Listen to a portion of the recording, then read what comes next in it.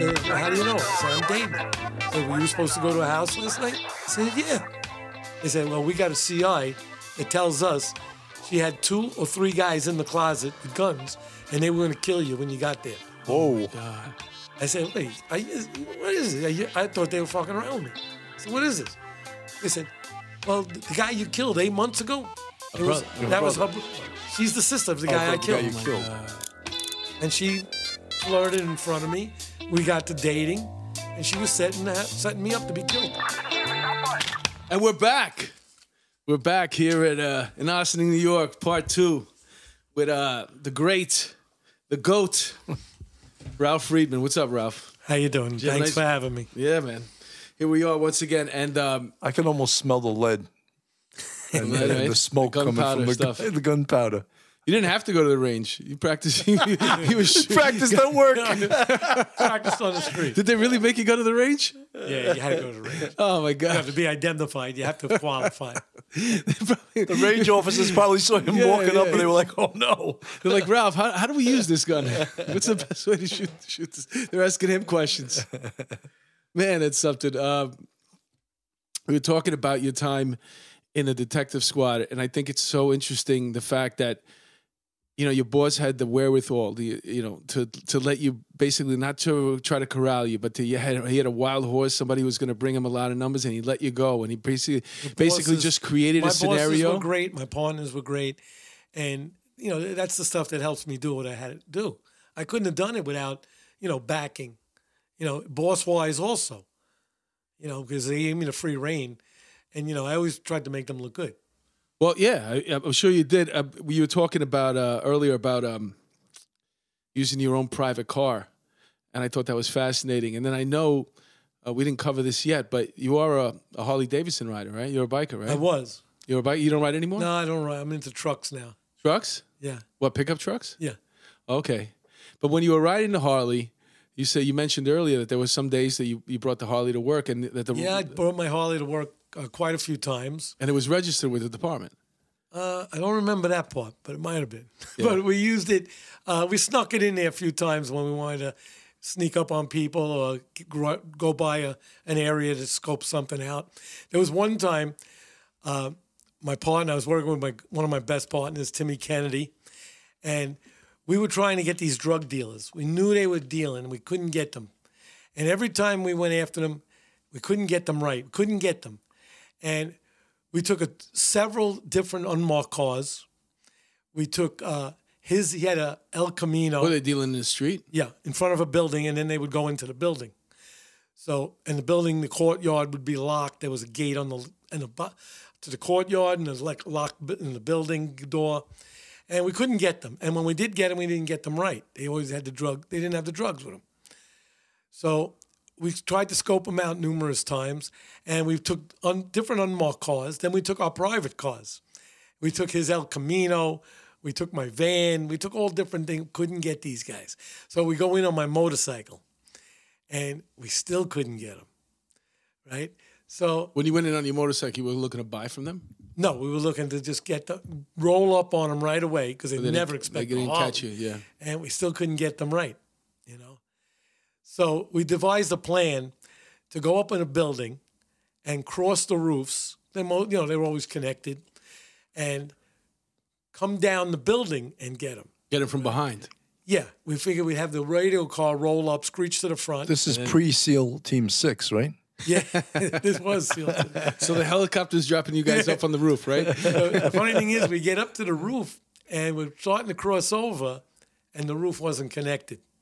There was like about a five foot gap. Oh, you could jump that easily. Easy. Well, Bronx we- Street Warrior, Shame. fuck it. kidding? Fuck that. We found a plank of wood, Whoa! Uh, and me and Timmy Kennedy put this plank of wood Oh, from rooftop to rooftop, and we walked across it. Oh, now I'd be a little afraid one of at a time. Yeah, it was a, it was a little hairy. I'd rather but try we the were five-foot determined, jump. You know, we would do anything to get these guys.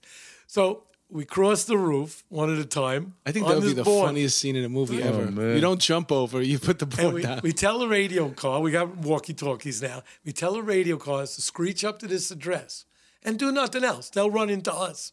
So we start coming down off the roof, going down the staircase. We have the radio car roll up, and these guys run up the building, and they're running up the stairs. We're running down the stairs, and we catch them. Right? Would you believe they still had no drugs? Oh man. And you know what we did? So we, we roughed them up a little. Nothing happened. You know, they didn't give up anything. We, we tell them, take off your clothes.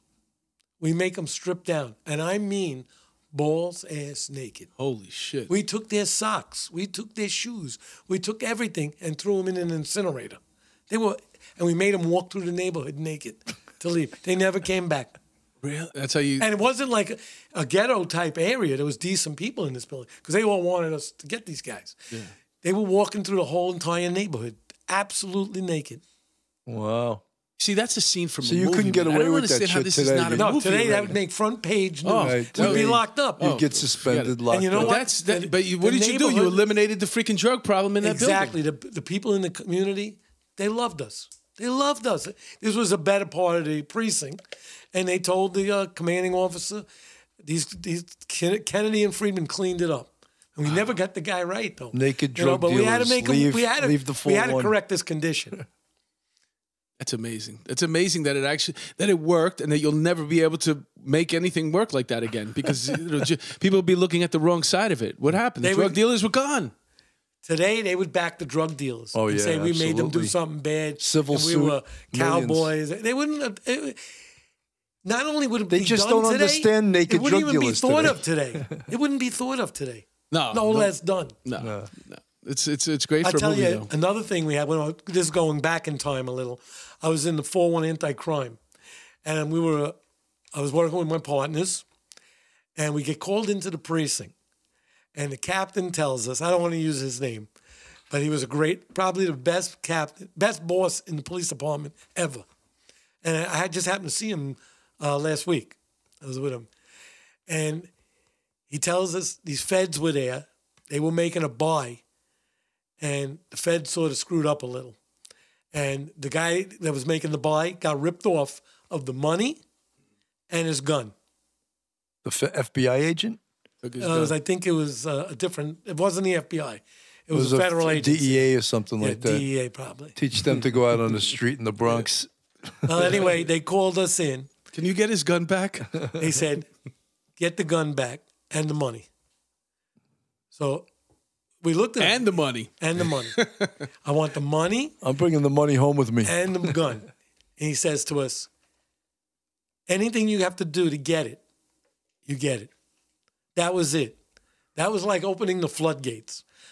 I can't even tell you, I wouldn't even have a, an idea of the number of guns and drugs that we took off the street that night. Not off the street, I'm sorry, out of buildings, out of social clubs. We hit all the social clubs. We just rammed through the door, broke down doors, and everybody would drop guns and drugs. And This is gave it- without search warrants. This no, is the no warrants. I, I very rarely used a warrant. It was the sole of my shoe was a warrant, you know. But we hit so many social clubs, and they were dropping guns, and we, they were getting collared. We give them to the other team members, other anti-crime members, and uniform guys. We're taking, they were making like ten or fifteen collars in every social club, and we hit like dozens of them. And we finally got somebody who gave us a tip Whoa. that led us to the other side of the precinct. We get to the get over there. Then now we go to the four four. Which, Which is also. a well, you very- guys were on the job, so you know you're working a precinct. To go to another precinct's a big deal. Yeah. And you know, we didn't even tell the other precinct. We just go in. You know, this was like like hot pursuit. Yeah. You know, if a lead took you there, it was like you're chasing you someone. went there, yeah. Yeah. Things were unfolding so fast. And uh, well, let me back up a minute. The one guy who decided to give us some information, we took him into the precinct first. And you know the precinct's Did you like, make him oh, take all his clothes off? no, a little worse actually. he was taught what what the uh, government used later on. I think we invented this, but we taught him waterboarding. Oh wow. His head was in the toilet. and it got Old-fashioned continually- waterboarding. Continually flushed until he gave us that information. That's all. That's the. That's the- old style. that's how it waterboarding. originated. Yeah. That's how waterboarding they originated. cleaned it up. Ralph learned that The from military the, from cleaned the it up. plumber. The plumbing service taught Ralph Friedman that. So uh, after he learned what waterboarding is, he gave us this information. Toilet boarding. We got to this guy's house, just kicked in the door, and we recovered all the money. He had the money right in the dresser. Oh, shit. And he was, after he saw us come through the door, he was very cooperative. Yeah, Let me put it they that way. get it. You didn't have Something to, about coming you through have the door. to get waterboard him. He understood that uh, What he did was wrong. and he had no choice but to give us the money. And we wanted the gun now. Uh-huh. Now, he had to notify someone else to get the gun. We didn't have He cell to make, phones in that he had to time. make a notification he had to make a notification. to get the gun back. and his friend came over. He called the command and control center. And uh, when he when the guy saw us, he became cooperative, and the gun was stashed on the roof of that building. Oh, We got the gun and the drugs back in probably, I would say, the whole operation took us maybe four hours, five hours, and I can't. The number of arrests must have been astounding. That that was probably about. I would say there was about sixty or seventy collars made for guns and drugs that night. That's unbelievable. But they were, we got a nice letter in our folder from the uh, DEA on that. They were very, uh, very pleased with it. now you'd that's get a letter from the warden of Kikisaki. Yeah, now we'd get a letter from our lawyer, you know, report to prison. You know, but these were how things were done. And you're not dealing with taxpayer, decent people. You're dealing with scumbags. You're dealing with criminals and violent criminals. And th- th- you, they're not innocent. I believe in torture today. If you get a terrorist and he knows where a bomb is, and you're going to say, well, speaking of bombs, so tell us about that. Uh, the Puerto Rican nationals. Was that the FALN? Yeah, they, Well, they, uh, I you had the a case lead. with yeah, yeah. You had, had you, a you had a lead with lead. them. I had a CI that gave me 100% information. I probably made dozens of gun And getting a good CI is very, very important.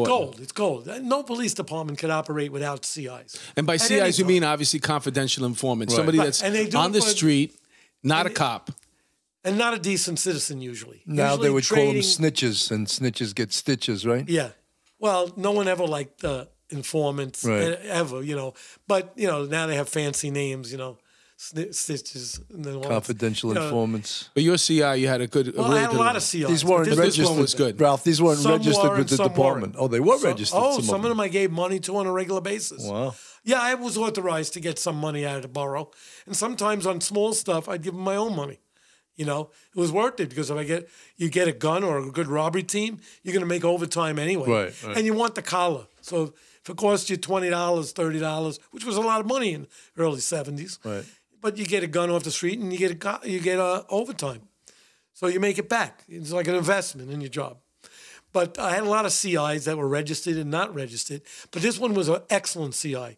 And he did it for both money and for getting play on the street because he would get caught with things and, you know, people would let it slide. You know, you know, if you get caught by another cop or a detective and you tell him, listen, I, um, I'm a, an informer, You're his PBA card. pretty much. Yeah. yeah. you know, and they- they let him slide because I would let other guys inform. Informants are a very important tool. if you get them for some bullshit thing, on Somebody told you on the side after a trade up for something better. Yeah, like if somebody told you on the side after, hey, listen, I'm a CI, I work for so and so, you'd give that guy a call. Yeah, Verify and if it. you verified it, you let the guy go. Yeah. Not if it's murder or stabbing or something, but if something that you could let slide at the time. It's the way of doing business, you know. And uh, this guy was 100%. And he he developed information on the FALN. Which the FALN at the time is um, It was a, one of the worst terrorist attacks we Puerto Rican had. terrorist organization, right? Yeah. and they blew up Fraunces Tavern in Manhattan and killed like four people and injured 56, I think, or 52, and the four killed. so these are Puerto Ricans here that are uh, basically forming Terrorists. but they, they want to separate from the United States or any involvement with the United States, so they start terrorizing America. well, they blew up this place in Manhattan, and it was one of the biggest terrorist attacks in New York or the United States at the time. And this guy was getting me leads.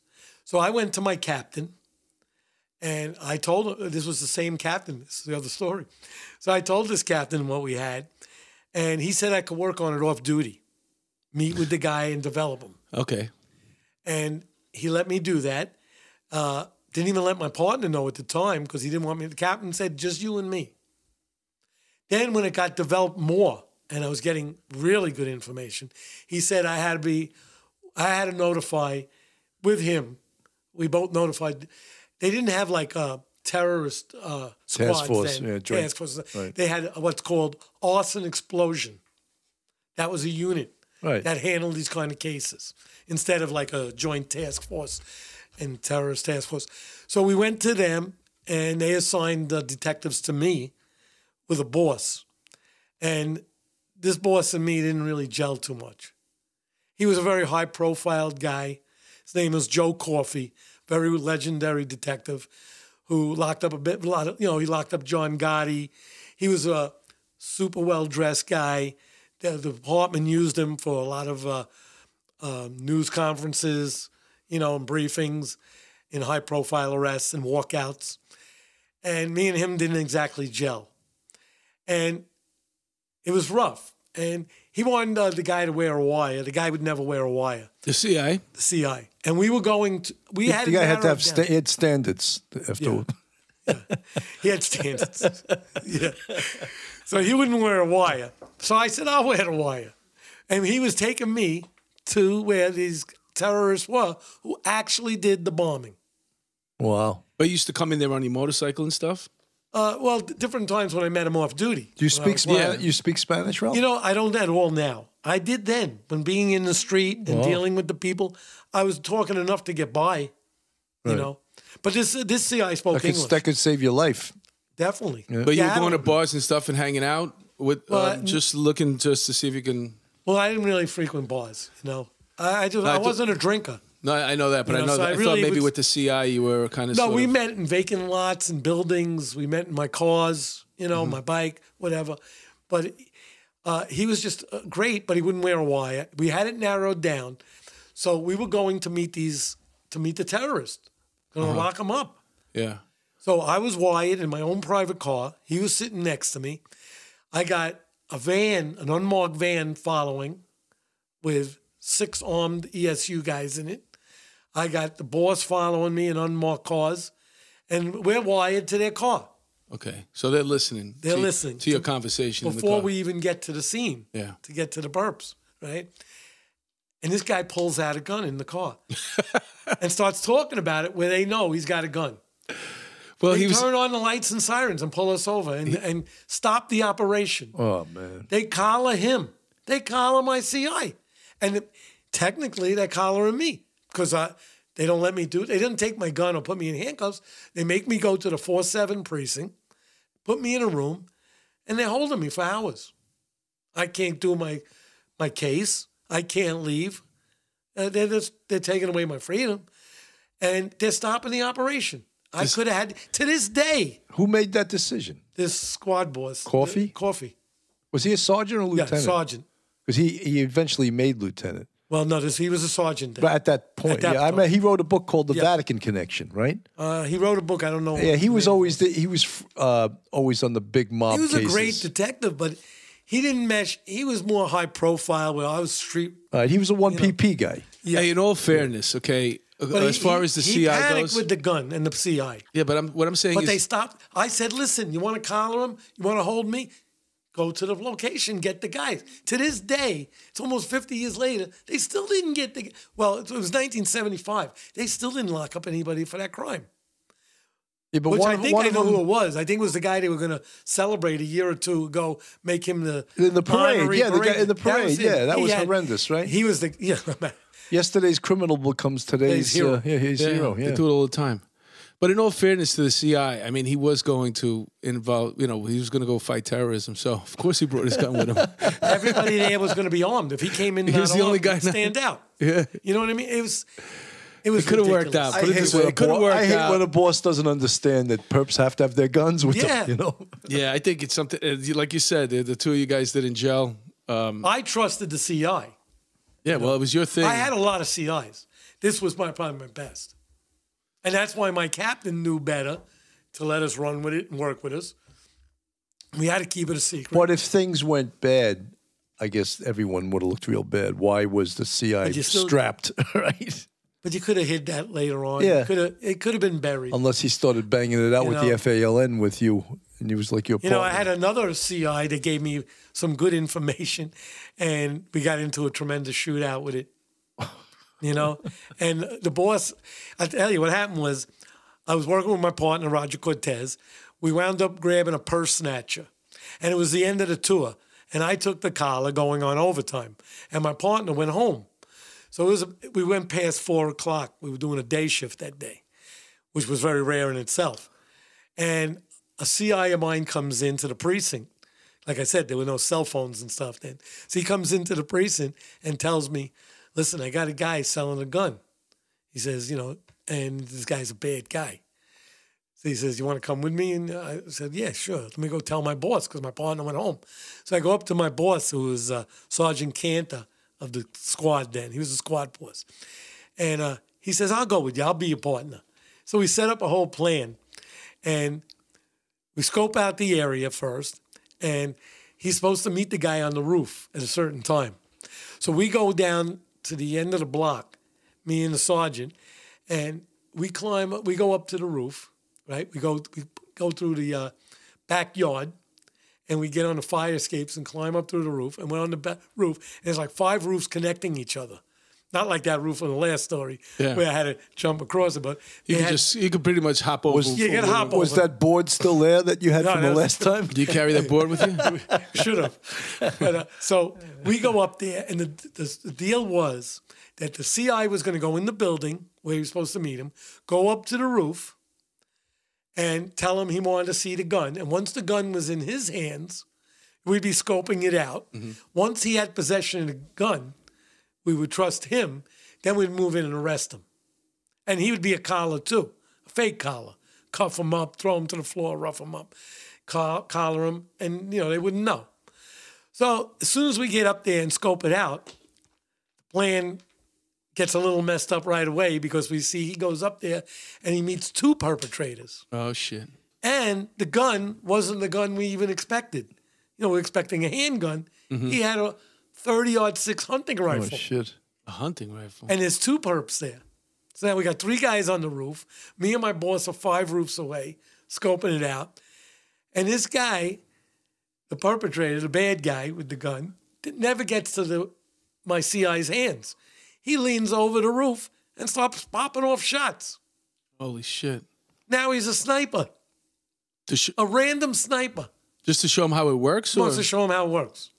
But he's aiming it. La- oh, wow. He's just pointing it off the roof. Oh, you know, you believe it? We got an active shooter. Wow. right, right in front of us. So we right away we jump out of where we're hiding. we each got a gun in our hand, and we start running towards them, screaming "Police!" And we're jumping over the parapets of these roofs. You didn't care about the board wasn't there at No that time. You board at just the time. right over the So we're jumping these roofs, and we're running over. Some of them are connected. Some you got to jump over a wall. Uh-huh. Some a little distance. It's like a four foot. No, how far does that those things go up on the roof? Maybe four feet. Then you got to kind of sort of hop over them.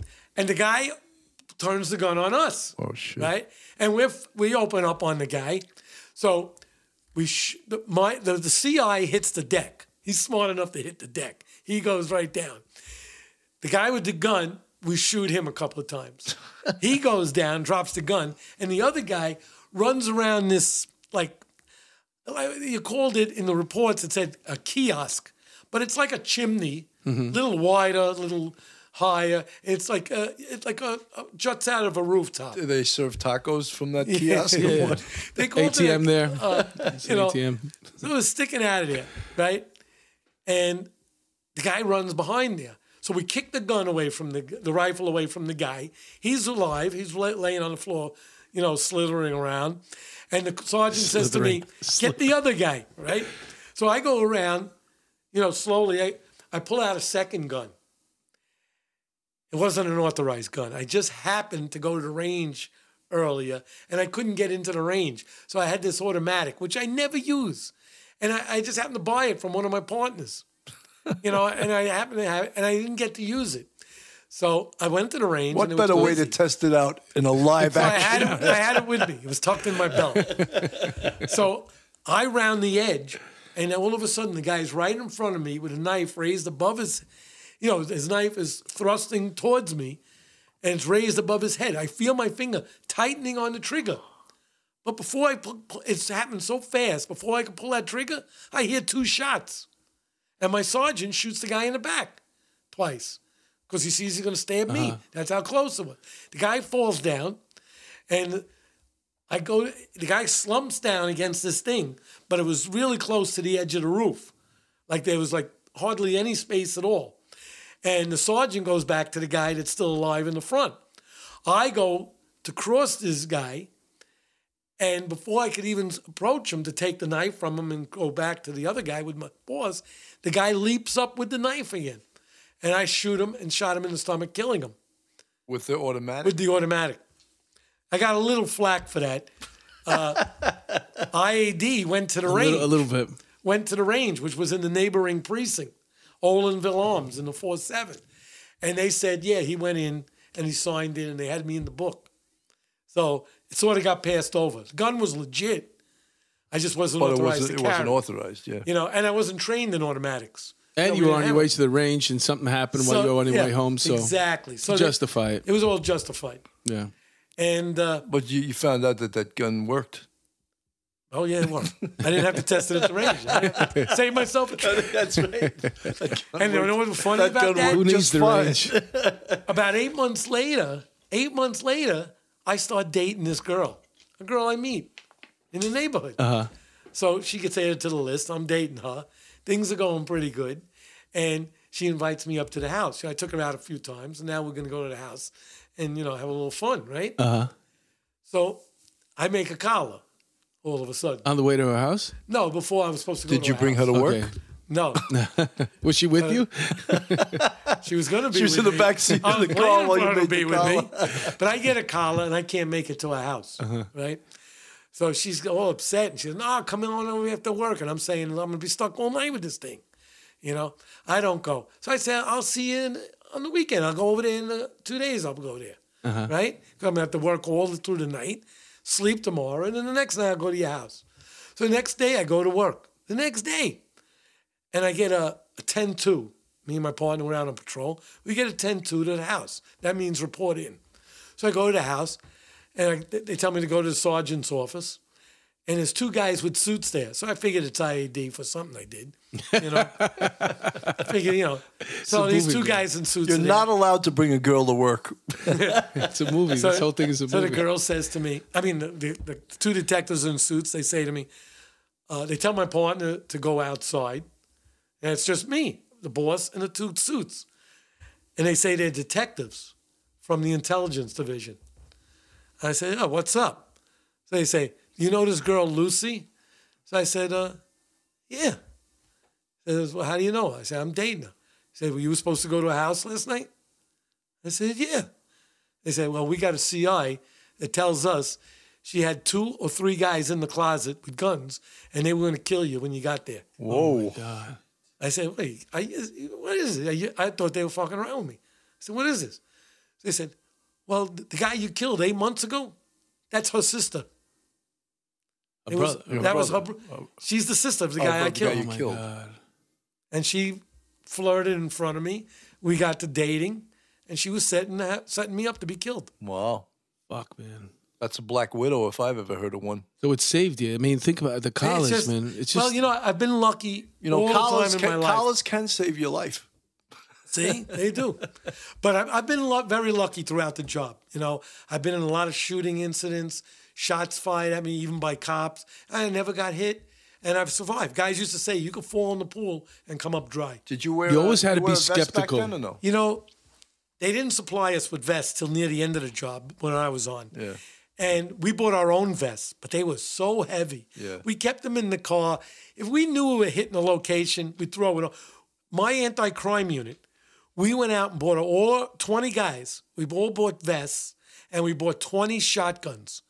And we sent them back to Savage Arms and had them all sawed off to legal length, 18 and a quarter. We bought them in a sporting goods right around the corner from the precinct. So we bought 20 vests and 20 shotguns. And we had them because the BLA was around and we drove around with them all the time. We drove around with sawed off shotguns in the car. And we were assigned from like six months of just driving behind radio cars Right. and backing them up. We were anti-crime sector B. Because back So then they were, they were radio cars ambushing were getting cops. ambushed. Yeah. You know, cops are going about doing their business, getting a job, thinking they're going into, and they get ambushed. Right. Especially black and white cops. They were purposely going after uh, what they called salt and pepper teams. Right. Wow. So we were backing up cops, and we always. Do you know? I had there were like six of the main people of the BLA. I kept their pictures like other cops would keep their sons or daughters' pictures. I had them on the dashboard of my car. I had them on a nightstand of my bed. I had them on my desk. So I'd see these faces all the time. I wanted to be able to recognize them. Right. One of the shootouts I missed, a joint task force with FBI and NYPD, killed Twymon Myers. I had missed it by minutes. And he grew up in my neighborhood in the uh, 4 1. He was from 172nd Street and Stebbins Avenue.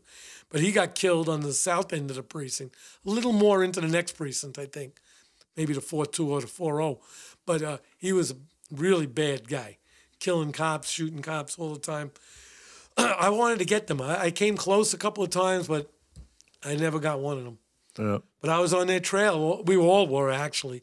But we, the anti-crime was, we were very alert to them. You, You know, Ralph, it's funny as you talk about stuff like this. I, I don't think people can really understand what this was really like back then. I mean, it, it- Well, it, was a scary about it, time. It, was a scary It- time, it- right? it was a Wild West show to begin with. I mean, and you were ducking bullets from all ends. Right. But that's why politicians and police bosses and police commissioners were on your side. Yeah. They were, they were, these guys were killing their voting base. Yeah. You know what I mean? Exactly. They had to, you got to save your and they were predators. They were preying predators. upon They the poor predators. people for the most part. and the weak, Yeah. the elderly. They invented other squads while I was there.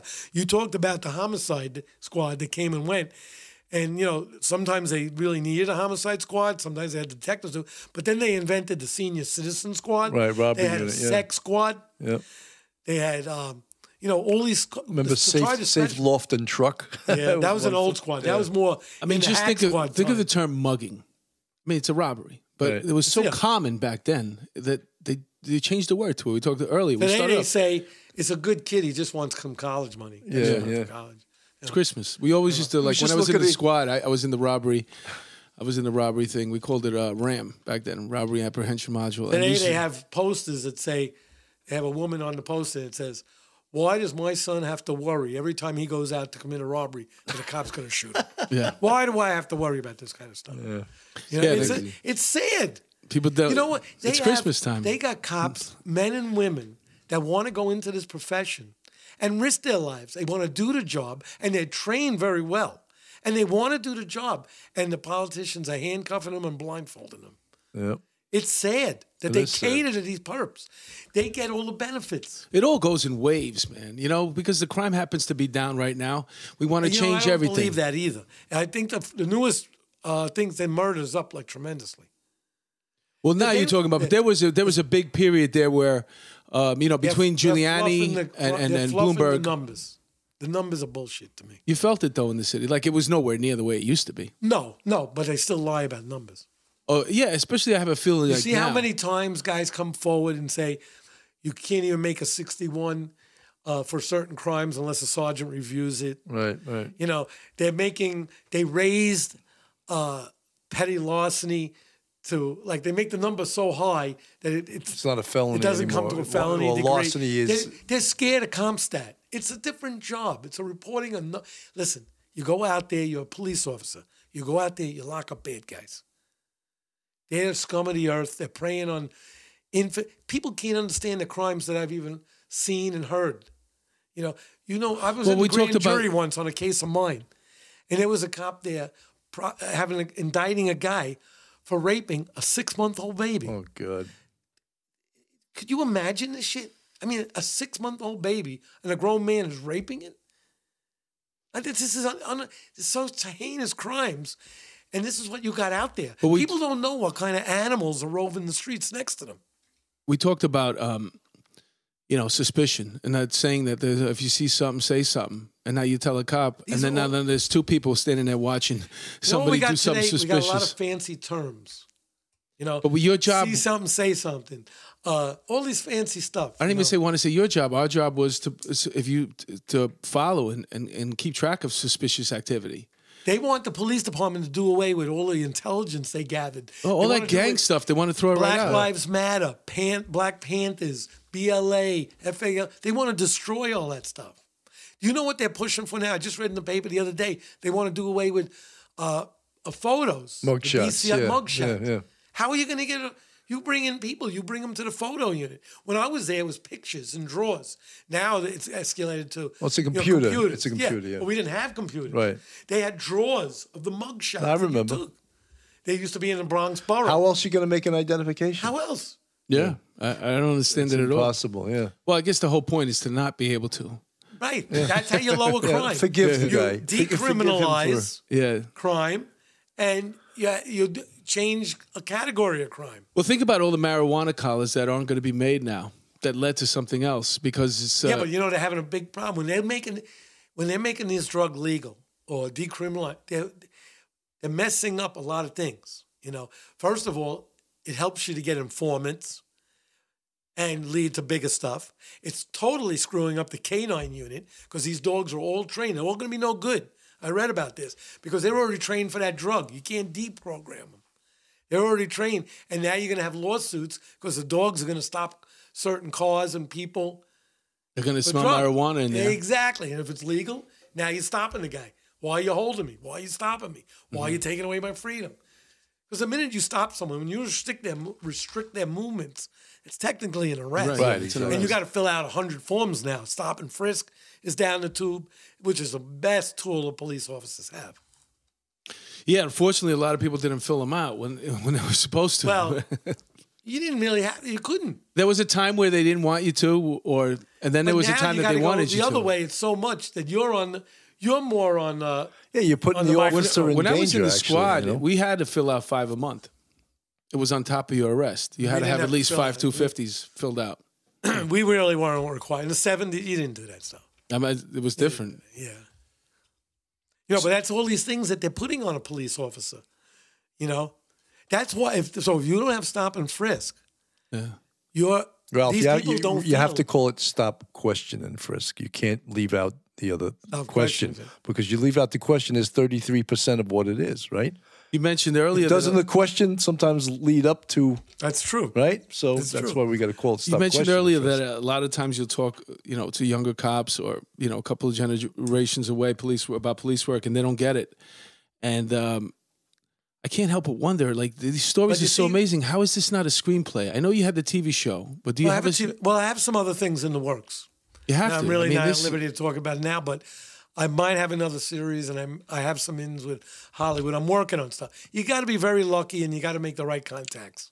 I've been lucky so far, and I'm hoping one day to have a another series or a continuation of my series.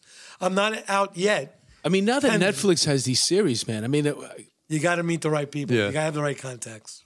That whole got- thing, uh, you every got the single great scene, stories, that's for sure. Every scene is uh, well, I'm calling them scenes already. Every story is a scene. But just getting back to the stop, question, and frisk, when you don't do it and you cut down so tremendously, uh, it sort of makes the bad guys feel empowered to carry the gun. Right. And what are they going to do with a gun? They're going to shoot somebody, assault somebody, kill somebody, or rob somebody. This is what they're going to do. That's what their tool of the trade is. Now, if they feel they can walk by a police car or walk down the block and there's 20 cops turning out and no one's going to search them, they feel empowered. Yeah. So the next step is they're going to commit a crime or an injury or a death. So you're empowering them now. And they got the balls, the way they talk to cops. Let me tell you, if they ever talk to me like that, or cops of my time, they'd be picking up chiclets, we say. Chiclets. Because that would be their teeth on the floor. we used to say, they'd be picking up chiclets. Yeah, when I was a kid, do the cops stuff. came by. They said, "Take a walk." You took a walk. You that's right. You saw a cop, you cross. We used to play stickball as kids in the 60s. You hide the stick out of respect when a car drives by. You had a nightstick that was a great tool. You know, you tap someone's feet or they need it, they're gone. They're out of the neighborhood. You didn't want to deal with a cop with a nightstick. No. And that was like, Then they gave us those PR twenty fours, and those things you just left them in the car because nobody knew how to use them. then they break and then they didn't want you to use it. Then they went to batons. now they got that asp thing. I think that asp thing is pretty good. It's pretty good, but you know Nothing better than a the nightstick, though. Not nightstick. Do you know I still have my original nightstick? Got a few dents in it, but I got it. cocobolo, right? Yeah. Oh, hey, let me the ask you a question. what do you think about body cams? You know, I, I don't like them. I, I, I there are times that in these times only because of these people have such empowerment that it probably work good for the cop because you'll see the people that start the problems. Yeah. But I don't like being. Look, I know my job. I was trained. You have to put trust in the police to do their job right, and it's hard for cops. Cops are thinking now. Every time they go in to do something, they go in to get a slice of pizza, a cup of coffee. There's 30 cameras on them. They feel like, hey, I got to be done. They got to be bright. They're, they're, they're too. I think they're thinking too much. Used to just react. It's reflex. If a cop hesitates in his work, he could be injured or killed. You can't hesitate, you know? And it makes them feel that they're being micromanaged, which they are. I think it's a hindrance, you know? I think since they put, started putting them on, we see a lot less. I don't know. I can't even remember the last case that it was a cop shot uh, an unarmed person that came in the news recently. Well, I'll give you an example. This uh, the Simonsen, the detective that was just shot and killed. Yeah, they took some body cam footage from that, and I seen the body footage for that. And all you see, you can't see nothing. It's, it's all smoke and glass. Right. Yeah, once things start happening and people start moving around too fast, it gets uh. And they don't have to have it on at all times. They press it right when they're going to a situation. And the funny thing is, it films one minute before they turn it on. I don't know how it does that, but when you turn it on, it picks up. I don't know, and a couple of them caught fire. Yeah, yeah, yeah. You know, it's. Well, it's, it's a new they thing. Might have been, it's not they might have been trying them out, doing something. You know, it's just another thing to micromanage like the, police. Uh, yeah. And you know, and when you micromanage, the cop doesn't want to do his job. You know, because he might do something wrong, and it or it'll be interpreted the wrong way. Or they got to think about, oh, I'm going to be on film. Uh, well, you know, every Ralph, cop is scared to be on YouTube. The big today. thing now, there was even a unit on the police department now that teaches of how to use less force, the reduction of force. I forget what they called that. You were part of that program, right? Where you teach. J- Jim Shanahan was teaching. Oh, there was cops. also a thing, uh, uh, verbal judo. Yeah, but the same thing, same school of Listen. thought. It's like, do you know they sent chiefs from the NYPD to Scotland to find out how their police deal with people using deadly physical because they don't carry guns in Let me Scotland. tell you, you know how you deal with deadly by, by using more deadly physical force. I agree. You know, you overcome violence with more violence, and you have to be able to do that and live with it, and you have to trust the police officers and detectives to do the right job. They're trained for it. They're trained. Let them do what they're taught and trained to do. I agree, I, but you know, there's You a know, lot I'm, of people. I know I'm a dinosaur. I know that, and I broke in that way of cops protecting your ass, not kissing it. And that's what you do. You go out and you uphold the law and get bad guys off the street. I think That's the goal. That's that's the goal point. Yep, That's what you do. You mentioned the numbers getting fudged, possibly, and also we're talking about a time right now where at least the way people feel is safer. So that's why they get away with this type of policing. If it starts to get busy again, if let's As say, for as the mayor's son or the governor's son or a relative or or a close neighbor or family member gets mugged or shot, then it becomes a big. Then they want the cops to do their job. the real police, yeah, bring out Yeah, the real police. now cops do now. the police. Now do your police work. Well, there's places that they're totally shut down. Baltimore, they're not going back to doing police work in Baltimore. They're taking reports, and that's what the Yeah. the the the Democrats they want that. They don't want them to do their job. You know what's really stupid stuff they do? They do stuff like gun-free zones. Yeah, that doesn't even make I- it sense. It's so doesn't- stupid. I heard that Trump was going to eliminate that right away, but I don't know if he did or not. But it's just stupid stuff. Is a criminal and then limiting how many bullets you can carry in an automatic or a clip. A criminal's gonna. They don't obey the law to begin with. They're breaking everything in the penal Right. law. Now you put up a sign, gun free. There's there's a. I just read a list of the places that you can't bring your gun. The Barclay Center, Madison Square Garden, uh, Radio City. If you're if you're on duty, you got to get permission, and if you're off duty, you're totally out. Right. They send you to a precinct. Let me tell you, when I was on the job, it was the beginning of carrying backup guns. I brought my gun to prison. I've been in prison a lot of times, and I went in there and I turned in my gun and I had one on my ankle, mm-hmm. and I wore it into Rikers Island all the time. You know, who's gonna stop a bad guy from doing something? Only a good guy. Yep. So if you have no guns in schools and an active shooter's there, who's going to take him out? Instead of killing 10 kids, he'll kill 20 What 30. Well, they're coming up with these But an laws all off-duty over. cop or a retired cop or a security guard that's Retired cops and losing their gun licenses. It's ridiculous. happening all over the, all over there. They're coming to uh, uh, It's update their gun licenses. They're retired, and they're they're having them jump through hoops. They're trying to eliminate the amount of guns that are out there, even if it Yeah, means a retired guy But carrying it makes his no gun. sense to stop good guys with guns. Some states you don't gonna have that stop a right bad guy anymore. with a gun? There's some states right now you lose your right to carry when you retire. That's unbelievable. That's the law. Well, they got the gun-free zone in the post office, And I'm off carrying duty. a gun. Fifty-one years, fifty years. I'm carrying a gun. I go to mail a letter, and I'm a criminal. Think about it. I think I read. I think I read too that off duty now. There's some states that are saying that you can't carry off duty. That your gun has to stay at work. At work? Yeah, It's ridiculous. It's ridiculous. When my time, you would get a rip. That's a complaint, you know, for listeners that aren't on the, on the job. You had to carry a gun and shield, or you get in trouble. Right. Yep. The only reason they switched to leaving your gun and you don't have to carry your gun is because they lowered the age of becoming a cop and they started hiring 20 year olds for a period. And there was a lot of drinking going on and some things happened. So then, then they said, if you're going to go out drinking, leave your gun home. When I was on the job, you always had to be fit for duty. You know, we know people drink off duty, but if you took a police action, you better not have been drinking. Mm-hmm. You had to have your Well, gun. Ralph, and you know shield. that right now. If a cop gets in a shooting, he has to blow in the breathalyzer. Did you know that? No, I didn't. Yeah. Well, no, I do know that. Yeah, Yeah. I've heard, yeah. That they was have to blow. A few years that yeah. been in effect. Yeah. Because of that, there was that one shooting with, with that social club where PMD got in a big shooting, and they were all drinking because I they were think I remember. PMD was allowed to drink. That's Public Morals Division, and they wanted to say, "Oh, the cop that got in the shooting was drunk." But you got to understand these kind of incidents, if they're tragic or accidental or stupid, is a small percent of one percent.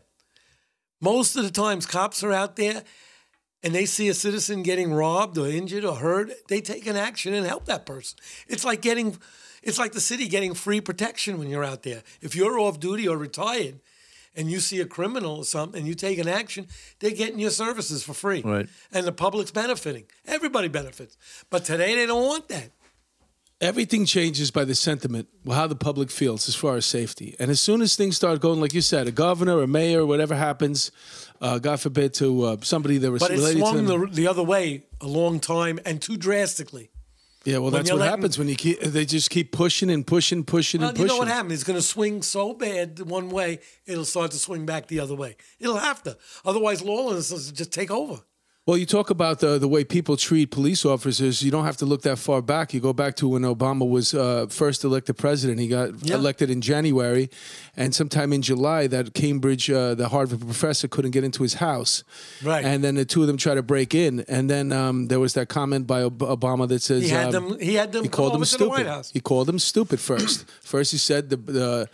The Cambridge The police acted acted stupidly, and that's a president of the That's- United that's States terrible. that Those should have never ever They gotten involved in this. Never gotten involved. This is a local matter that would, nobody would have ever heard about. He could have taken care of it with a phone call on the side, but he wanted to make it a public thing. And be, from that point on, They felt you saw, but People you saw empowered. the moral. You saw that the police officer in this country was not going to be respected at, uh, the same way it was. It just started fading away. People felt empowered. People that were on the wrong side of the law, they felt like they could talk to cops whichever way they want. You're right. And it was, um, it just changed the whole sentiment of yeah. the country. And what about when uh, when uh, De Blasio got in? Well, the first thing he said was, uh, you know, my son, you know, could be, you know, the cop, be scared of the cops and all that stuff. Remember he said yeah, that? yeah, It just it just seems like just an easy. It's an easy thing to do because you're trying to get people on your side, with the assumption that everybody feels this way. But they're know what sacrificing the police just to get votes. Yeah, of Exactly. They Of look for a voting Their block. That's contingency, all it yeah, is. yeah. Sometimes they use you. Giuliani got on the thing. He didn't give us a penny. He gave us three zeros. But man, he got in because he got every. When I was when I first got on the job, everybody went out and I got my grandmother out to vote. I got everybody out to vote so we can get Dinkins out and put Giuliani in. Then we got three zeros. But he did say he liked cops, so that's how gullible we are. Well, We Koch want- was good too. He liked cops. We yeah, want- Koch is probably the best like Remember man. they used to Dinkins gave us a raise though. We he, want we he didn't want want you doing raises, nothing. we, not praises. That's what we used to say because Giuliani just gave us praises. Yeah, but- yeah, yeah. But he got in on our on our backs and Yeah, then no. stiffed us. But no, but you know, Dinkins, he didn't want you doing nothing. No. You know, he did hire uh, thirty thousand cops though, and I was one of them. But that's why crime was out of control when he was mayor. Yeah. Yeah, but that's also the crack epidemic too. Yeah, That started in 85. Yeah, that's right when I- after right after I got out. that's when I came on. Yeah, that's when I graduated high school. Yeah, that crap. Uh, that that's what gave the big illusion in crime too. The big, big spike. Was it getting better or getting worse or whatever? If it was getting better, then it spiked up again. You know, and then once kind of that, that faded out. Well, that's what happens if you get leadership that doesn't back the police. It streams down from president to governor to mayor, and those are the people that you know control the big bosses, the PC.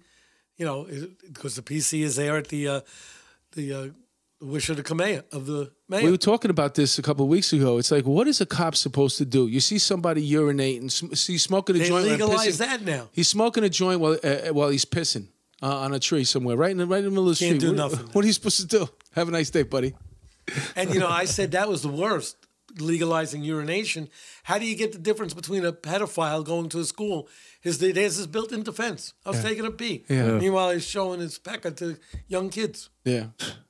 Right? I mean, Turn on the he's got- body cam. He's got a, but it's a, a defense. Yeah, no, it's ridiculous. I don't think a lot of this stuff is thought through. It's just a question of just keep pushing and pushing, trying to Legalize this, decriminalize that, take the power away from the police. Well, the whole broken windows policing, which got us out to the window. is out the window. Yeah, and the cops worked 20, 20 We- years, we- two decades my- to right, I worked real. We all worked real hard to bring the city to a level Right. of decency where it And is if- now, and and, they're throwing it the away. Decades They're are throwing it the away. decades are being set back in, in a year or two. Yeah.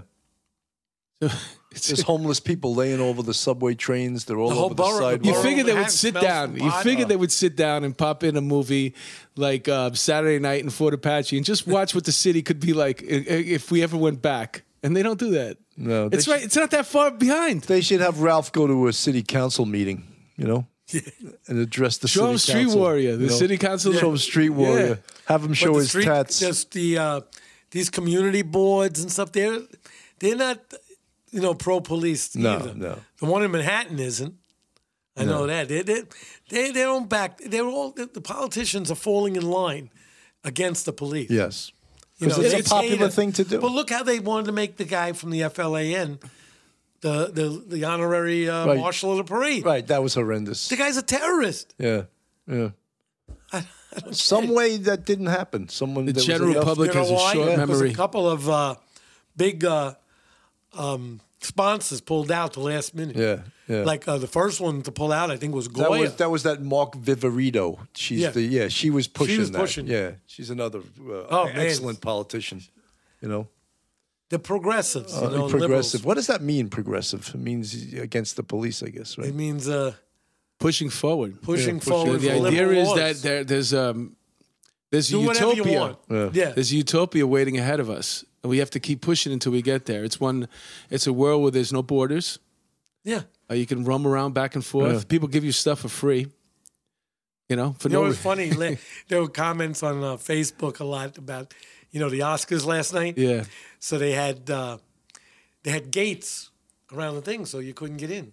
But they don't they don't want gates nowhere else. but nowhere else. At their party, they don't, they have Yeah, yeah. guards and guns and gates and wires, and no one could get in. Why one of my Why wasn't it open one to of the my public? favorite expressions was you want to see a liberal turn into a conservative, just step on his land, Yeah, and then he'll Yeah. turn into a, you Exactly. Know, he'll pull out his AR-15, which Well, is I mean, look where we are right now. and then you had Bloomberg saying people that own guns are stupid. But he's surrounded by a Armed bunch guards. of detectives Yeah, armed with guns. You know, how do they feel yeah. when he says things like Stupid. this? Yeah, that's all the people that say that, Pelosi too. She's got They walls. all got walls, security guards, and guns. Same thing with socialists. Show me That's a socialist, I'll is. show you a millionaire. You know, every socialist that pushing social. Socialism is for you, not for them. Them. Yeah, It's right there. It's all you got to do is turn on your TV. yeah. They, wa- right, want they full want control. They want the government to have all control of your money. You know. So I, I'm I'm sorry this turned into a rally. Hey, let me ask you a question. While we have you here, I've read in the book you said vacations are overrated. Are they still overrated? Do you take many now that you're retired? Can you? Actually, I don't. I've been spending money on my house. We haven't been on vacation for a while. My wife doesn't like to fly since 9 11. Oh yeah, yeah. Is your you know- wi- was your wife in law enforcement or no? No. She actually took the test, and they called her three times, but I made her back out because Yeah. in those years, How many years you been married? I'm with her 36 years. Wow. Right, uh, I started seeing her four months before I got off the job. Good for you. You know, she was there with me when I had my accident. But I was dating a lot of girls at the time, and uh, when I went to the hospital, they all met each other. I woke up one day. There was seven girls around the bed. Ralph, did and you she ever went to meet them. Well, I made like I passed out from the drugs again. Ralph, did you don't ever want to deal with did it. you ever bring your wife to work? No, she No, didn't go. she never went. To You know work what's with amazing though is how well they can get along.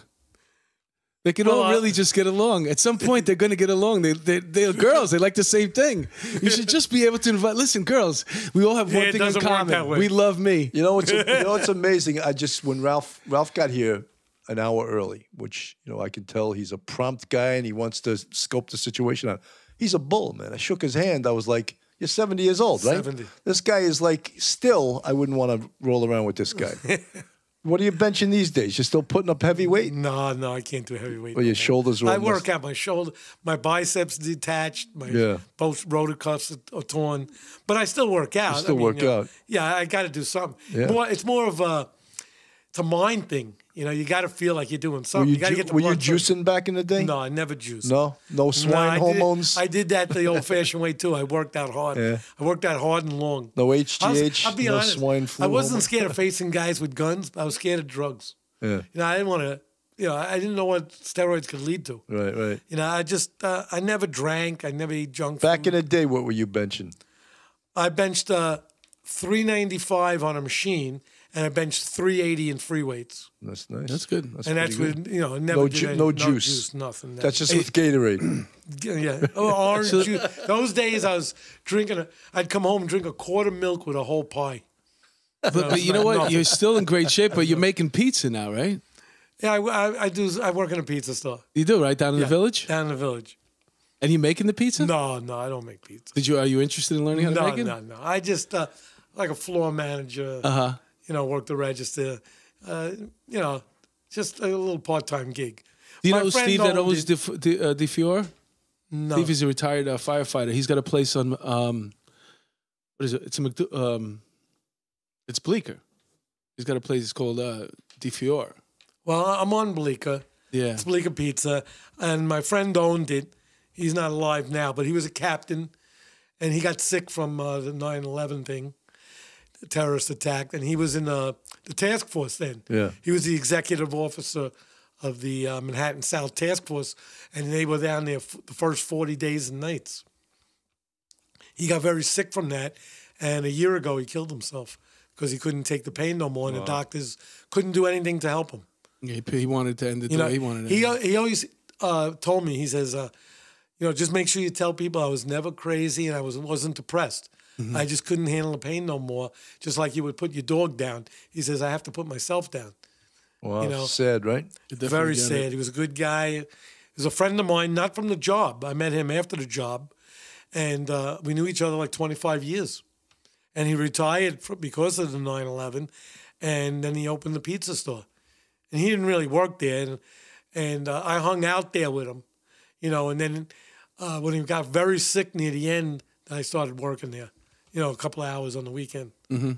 And uh, People could come was down there and see you though on the weekend. oh, yeah, people come down and see me all the time. Yeah. Do they? If you buy a slice, can you get a free war story? I'll get you a free slice. A picture. Get at least a picture, right? I want a picture with Ralph with a, with a slice of pizza. You know, Yeah, I'm gonna come I down. pose there. for they should call it war, hundreds of those. war Story Pizza Shop, right? Yeah, Yeah, I'm gonna come down for that. I want to do that. That sounds like a That's good- great. man. Definitely invited. I do all the comedy clubs down there, perform there. So I'm now now I know I'm gonna come down there. You got to meet Steve though. Um, he's on Bleecker too. He's uh, right next Well, door. to that's the- how you know my friend Pat Dixon. yeah, I'm a comic. He's a comic. Yeah, yeah, I know Pat for a long time. No, But he Pat, does the series. He does the comic. I've been on that show plenty of times. You've been on the New York Yeah, City yeah. Crime Report. Yeah, plenty of times. Yeah, I've been on like six or seven times already. Yep. He's a great guy. Yeah, I love Pat. Pat's my buddy. I got nothing bad to say about Pat. Yeah, great guy. So I'm, th- I'm trying to think of is there something that we didn't cover yet? Oh, I got plenty Well, of well, stories. Ralph, you Tell- well- let me ask you something though. Where do you, where do you go from here? You're 70 years old. You're well, retired. I'm you got all trying to get my foot in the door in Hollywood. Okay. I'm hoping for a second season with ID, Mm-hmm. and I'm uh, For the listeners, uh, he, Ralph had a show on ID called uh, Bronx Street, Justice- Warriors, no, right? Street Justice the Bronx. Oh, Street Justice. The, the Bronx. The book was okay. Street Warrior. Okay. Um, we didn't go with the same name because when uh, the show started out on Discovery, and they thought the name Street Warrior was too much sounding like a car show. Yeah. Because they do a lot of uh, garages and street Right, racing. right, right. So All they these- thought the connotation Street Warrior was more towards cars. So we kicked around names for a while with marketing people and the execs and stuff, and they came up with uh, Street Justice the Bronx. As a matter of fact, uh, there's two dots after Street Justice.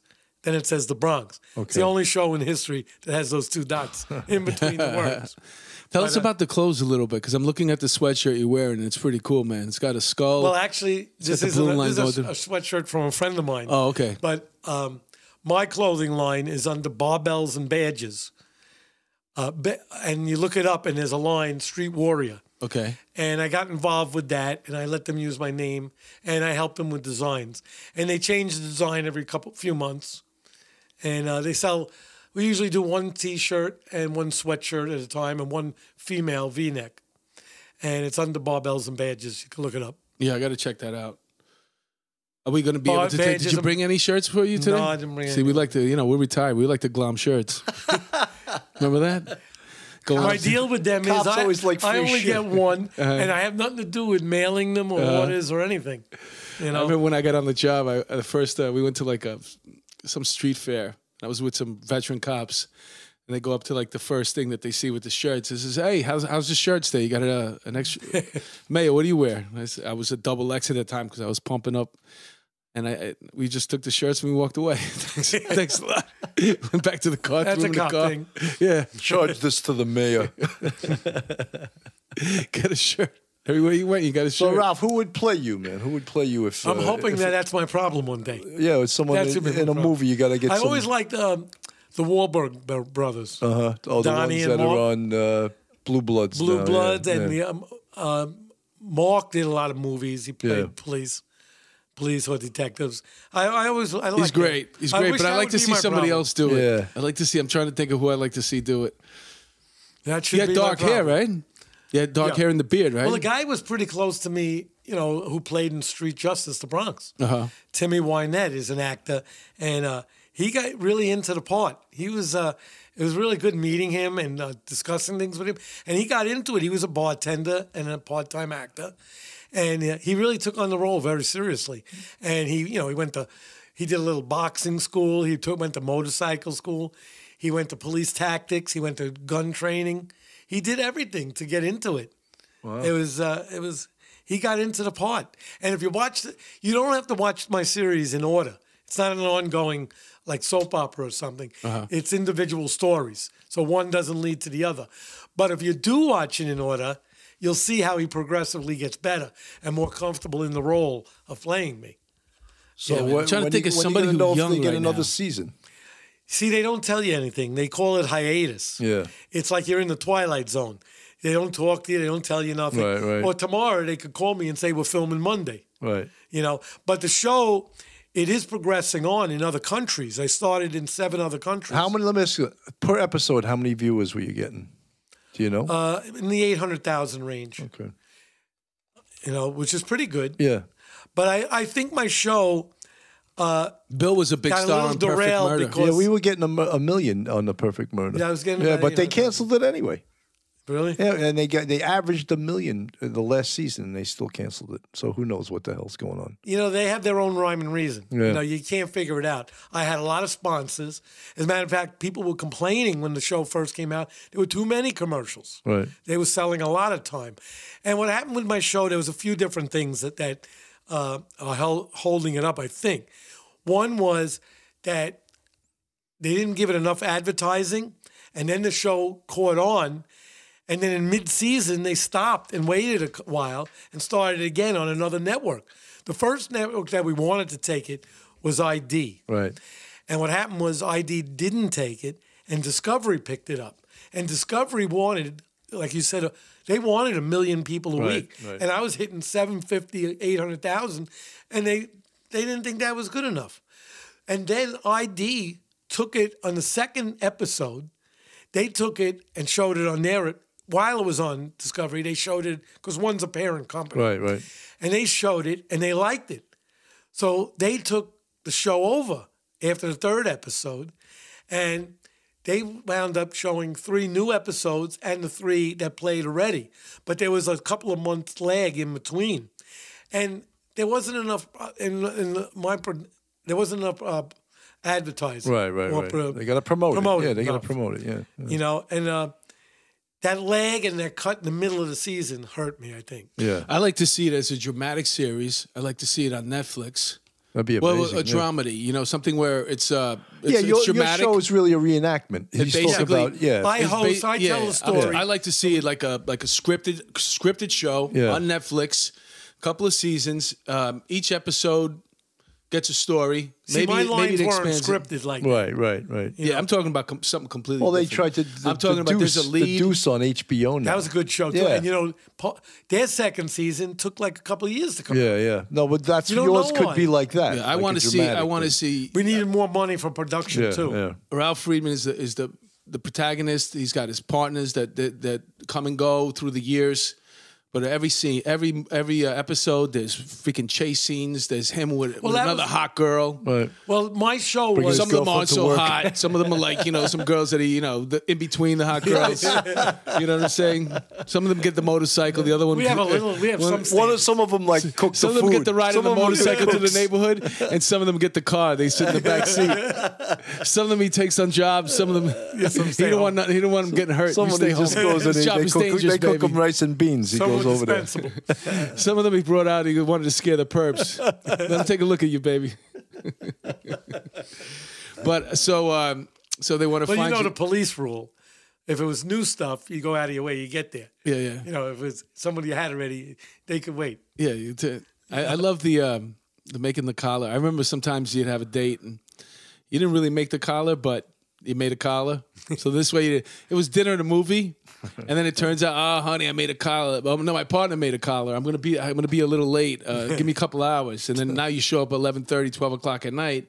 They're already dressed. They still want to go out, and but there's not that many places to go now. Go to my apartment. We'll catch a movie on another night, sweetheart. Uh. Grab that beer. I got your beer.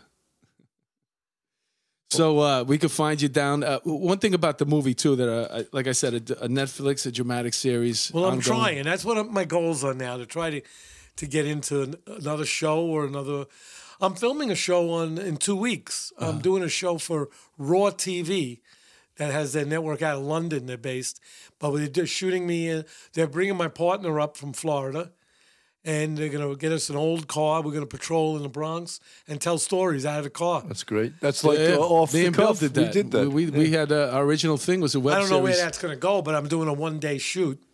Yeah, me and Bill had a web series like that. We used to drive around, and basically, we would go with two places to eat in particular commands. And while we were stopping to get something to eat, the way we did on the job, we'd also tell some war more stories. Something happened yeah. over here in this corner. Oh, this is where we You used guys to were go. partners.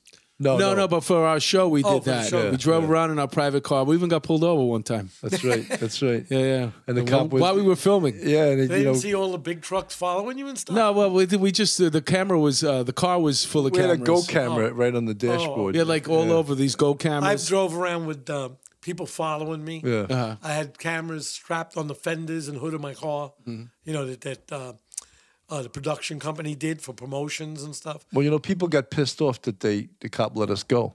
People that watched it. Well, what are you kidding me? You think he's really? going to give us a summons? yeah, that's stupid. Yeah, they actually got annoyed that we got away with it. Well, I wish you the but best those are of the luck, goals man. now. I'm This- trying to get into these things, I mean, I can't. I, and I'm having fun with the interviews. And I can see me uh, auditioning for it. I do book signings at car shows and motorcycle shows. I set up a booth, and I get a kick out of it. That's great, because I like going to show, these kind of shows anyway.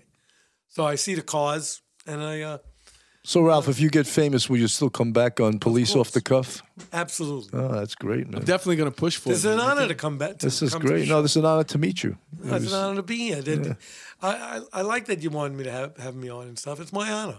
No, I think what we're trying to do here is we're trying to, uh, like, for example, you have a book, you know, Street Warrior, And uh, Well, it's a you great, mentioning yeah, no, it's a great too. book. I- It's I a great book, realize but there's a lot of great cops. Maybe not as great as you, but there's a lot of Oh, great cops out definitely a there lot of that retired. Um, Michael O'Keefe uh, wrote wrote uh, "Shot to Pieces." but I'm not talking about on, the yeah. ones who have. Well, we're, we're, we're getting those on because of the high profile ones. But I'm Right. interested also too in getting cops Well- that they're retired and they didn't. They their stories are going to just pretty much die out with them. You know what I'm saying? It's their there family and their cop- friends. Stanley Gam. Mm-hmm. He was he was like this real heavy hitter in the four one when I got there, and he had probably the biggest influence on my career. When I got there and I was a rookie, I seen this guy. He was in uniform, rack of medals up his chest, you know, and he would come in every single day with a gun or a felony drug collars. Every day, I looked up to this guy like you can't believe. I said to myself, I want to be like this guy. I want to be like him. And I wound up getting into the anti crime unit, which by that time he was in. And then one day I became his partner. He just recently died like a month ago. And uh, I, this guy was, he was tremendous. And I had great partners. I had this guy, Roger Cortez, when I got into the de- detective squad. He was an old timer, but we hooked up and he got real active again. He loved it, you know, being out there and making pickup collars. I had my two best partners were probably Timmy Kennedy and Lester Rudnick. I know all the Bronx heavy hitters. You know, there was Robert DiMartini.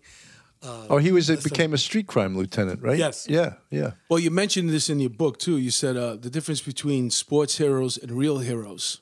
Right, real heroes are R E A L, and the other heroes are real R E E L for film. The make believe guys that are aiming for a gun in someone's hand. And You that's know, what that's why we want to take the real ones, the real, the R E A L. There's a lot of real cops That's out right. and we want to we want to be able to kind of sort of memorialize their careers in a way. So then this way, if you And- don't have a book, it's not forgotten. The And stories are still out there. I and just they're went great to a stories. street naming for an officer that was killed in 1984 or 85. uh, Ruotolo. Ruotolo. Yeah. 1984, I think it was. Yeah. That guy was a hero. That guy took a police action and took a bullet and got killed. Yep. You know, and then my part, I had another partner, but I wasn't his partner when he got killed. Was Kenny Mann. You know, I still to this day have his uh, card, his mass card on my desk. You know, and he was killed in the December of uh, '74 also. Oh, it's a long time know? ago. There's no rhyme or reason to it. When you put the uniform on and you take on this job, you never know. There's always a chance as soon as you step out of that precinct that Well, that's it. The could whole happen. job is you're putting your life on the line for a stranger yet. Look at Detective and Simonsen. any May he rest in peace. A second, He was going on. Um, 19 robbery. and a half years, But and I- he was I thi- driving around. I think he was. Um, uh, well, You know, he wasn't the even circumstances. Yeah, he what are the wasn't circum- supposed to work that day. Yeah. he is a, a DEA delegate. Yeah, and they had a DEA meeting that day. So he he could have switched his sh- shift. He was supposed to do the day shift.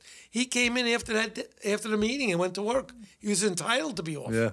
He came in and went to work and did police work, and then responded to a job that uniform officers were picking up, which guys in anti-crime do and detectives do all the time.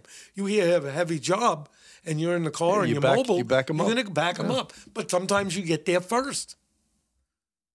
You know, that happened with a partner of mine. We were in anti-crime, me and Cal Unger. And uh, we hear a burglary in progress, a girl screaming for help. And we responded. We say, we'll take the backup. And we got there first. We go up a five floor walk up, get up there. We see a door broken into. It's off the hinge. You know, the, the door jam is broke. It's open about six inches. And then we hear a girl screaming. We go in. It's two o'clock in the afternoon. He's not my regular partner, but we both got back from court, so we team up together. So we go in there, and it's pitch black, but it's two o'clock in the afternoon. They had drapes and blankets, everything over the windows, and we hear a screaming coming from in the back of the apartment. We go into this hallway that leads to the rear bedroom. All of a sudden, a guy jumps out in front of us, three feet away, and opens up fire. We're in a hallway. Wow. The bullets are ricocheting off the wall. The bullets are right at us. We're three feet away and getting closer. And we exchanged 18 rounds, the three of us. Um, I wound up killing the guy. Uh, my partner got hit right away, seven times. Two, five of them were direct hits to the body. Two were ricochets, which they took out in the hospital with a tweezer, one from his arm, one from his back. But the five were direct hits. One pierced the bag of the heart. He took main medical history, took 72 pints of blood in uh, three hours. Medical history, 72 pints of blood. You realize it's just spilling out as they're operating him. They're pumping him full of blood. So anyway, I killed the guy. He ran into me, and I had one bullet left, and I his gun, my gun was pressed against him, and he had the gun in his hand, and I killed him right there. And later on, and thank I felt good about this because I saved my life and I saved Pat Cal's life. He wound up living, and uh, when they were interviewing the detectives, when they were investigating this case, the ME says to the detectives, "You know, you got a homicide here. You have no, you have an execution here." So the detectives, what do you mean? He says, uh, "Well, there's- there's powder burns on the body that said the gun was pressed against him."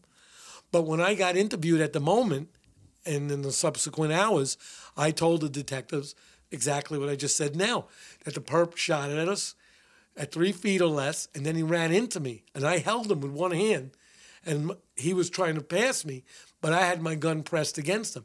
If I would have said I shot this guy from three feet away, mm-hmm. I would be indicted. Yeah. You know, because the ME's report, The said- physical evidence but says that the gun but was pressed but up against him. It was comparable to what I said. Right. I said I pressed the gun against him. Right. If I would have said the wrong thing, said, "Well, I was three feet away," Right.